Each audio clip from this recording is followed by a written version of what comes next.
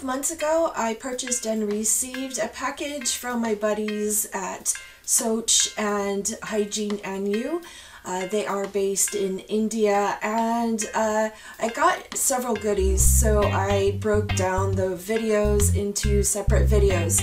Um, just to recap, I received um, the Wings cup, the V cup, the period panty plus an insert, some extra inserts, reusable cloth pads, and a set of interlabial cloth leaves. All of the cloth goodies were made by the owner of Soch. Hello everyone, it's Red Herring. I hope you're having a great day. Any websites, links, or discount codes that I might have at this time will be in the description below. If you find anything helpful or interesting in this video, please give it a thumbs up, comment, share, and don't forget to subscribe if you haven't already. I know that many of you were interested and wanted more information in the Stone Soup Wings menstrual cup, so I'm going to cover that cup today.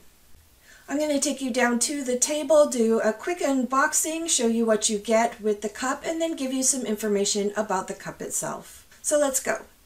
First of all, check out these cups and the other goodies that I mentioned at the Soch Green website and Hygiene and You website. I will leave both of those links in the description below.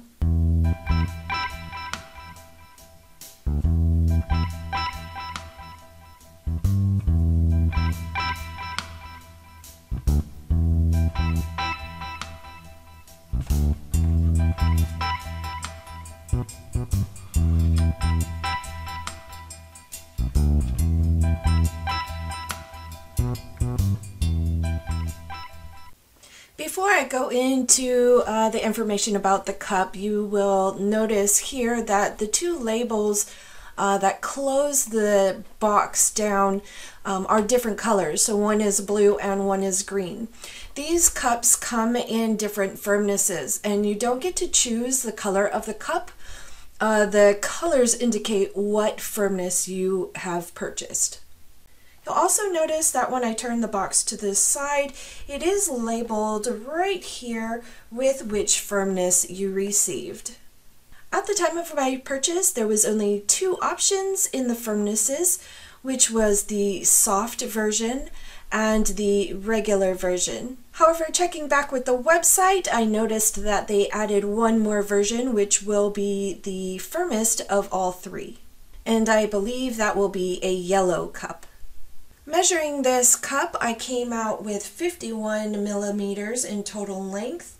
The diameter was 45 and while I filled the cup up with water to the very top and created a little bubble dome with it, it came out to 30 milliliters.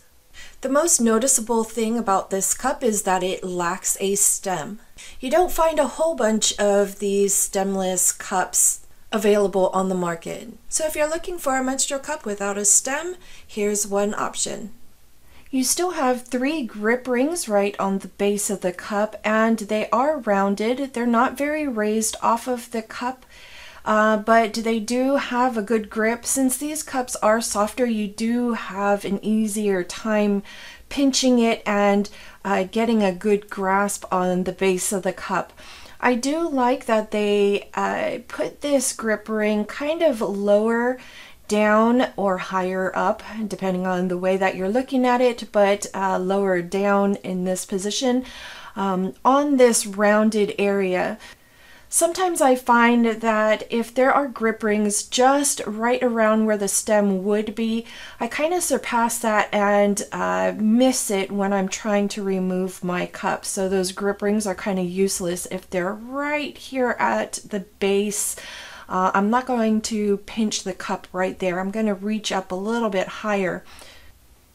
The silicone of this cup is kind of that squishy gummy uh, type of silicone so it's really soft and it kind of feels like like a gummy bear if you were to squeeze on a gummy bear. Uh, that's the feeling of this silicone. So it does have uh, a good uh, grip to it uh, if I pinch down on it and pull my fingers, they don't slide really easily off of this cup, but it is dry at this time, so if and when it's wet, it might act a little differently.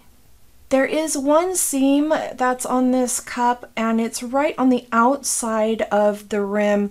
Uh, they didn't clean it up a whole bunch. There is a little lip on it. I can uh, feel the silicone kind of just shifting back and forth underneath my fingertips. There is uh, some little bits of silicone that are a little um, sticking out there, but they're soft enough where they're not going to bother me. But just know that it's there if you're sensitive to those things. There are four air holes around this cup and they are equally spaced. So there's one here and one here and then on these sides. Uh, these I would consider pinholes. They're teeny tiny and they are set kind of far down from the rim of the cup. The holes have a very slight diagonal to them, the outside would be the highest point and the inside would be the lower point, but it's very, very slight. The outside of this cup doesn't have any other markings besides the grip rings.